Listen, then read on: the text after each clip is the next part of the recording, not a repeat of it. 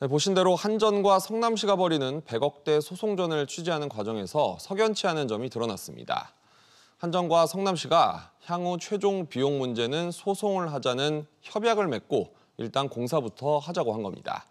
어떻게 된 상황인지 이 내용 단독 취재한 윤성훈 기자와 알아보겠습니다.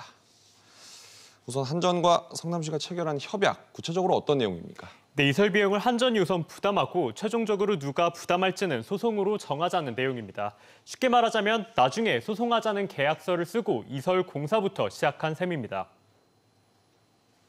8년도에 협약을 했어요. 공사는 일단 우리가 먼저 하고 부담 주체에 대해서는 소송을 통해서 결정을 하자.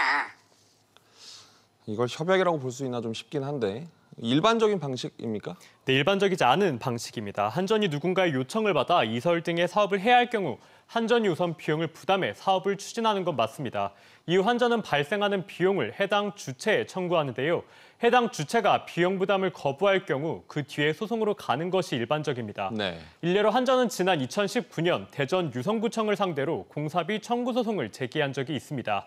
비용을 우선 부담한 한전이 유성구청에 공사비 18억 5천만 원을 지급하라고 요구했지만 받아들여지 지 않자 소송을 제기했습니다. 일반적이지 않다고 말씀하셨는데 그렇다면 왜 이렇게 이례적인 협약을 맺은 걸까요?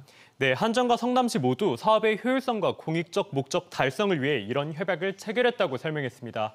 그러나 이들 모두 이번 협약과 같은 내용이 적용된 사례는 거의 없다는 점도 인정했습니다. 네.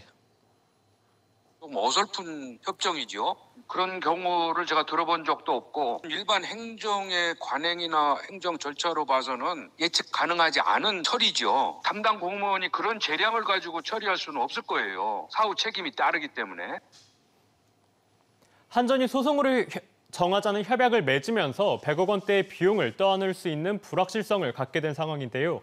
한전과 성남시의 해명에도 왜 이런 협약을 체결한 것인지는 의문으로 남습니다. 향후 소송 과정에서 이 부분도 명확하게 가려야 할 것으로 보입니다. 확실히 석연치 않은 부분이 있군요. 윤 기자 잘 들었습니다.